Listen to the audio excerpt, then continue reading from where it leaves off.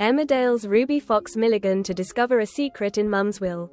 Emmerdale's Ruby Fox Milligan uncovers some surprising information in her late mother's will next week. Ruby has experienced mixed emotions following last month's news that her estranged mum Helen had passed away.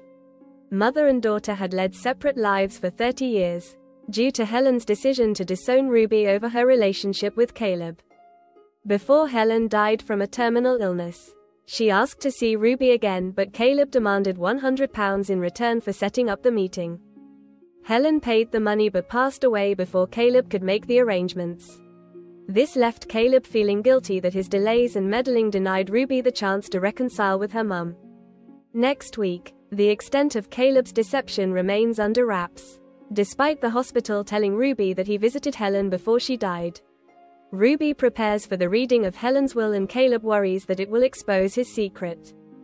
When Ruby reacts with shock and horror to one of the documents, Caleb fears his luck has run out. However, Ruby's surprise turns out to be something else entirely. Helen's will mentions that she was secretly in touch with Ruby's daughter Steph before she died. This leaves Ruby reflective over her lack of closeness to Steph. She tells Chas that she's grateful for the way Caleb has worked to include her in the Dingle clan when her own family is so estranged. Later, Caleb breathes a sigh of relief over making it through the will reading unscathed, but how long can his good fortune really last for?